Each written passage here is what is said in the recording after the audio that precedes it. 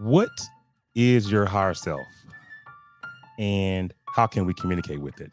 We know that our consciousness is being beamed in from a higher place. And once you begin to connect with and begin to understand and have belief that there is something else that's guiding you within you. You work within your higher self. You live in alignment. You know, the higher self actually knows your purpose. Your the higher self uh, actually knows your greatness and knows what you're worth.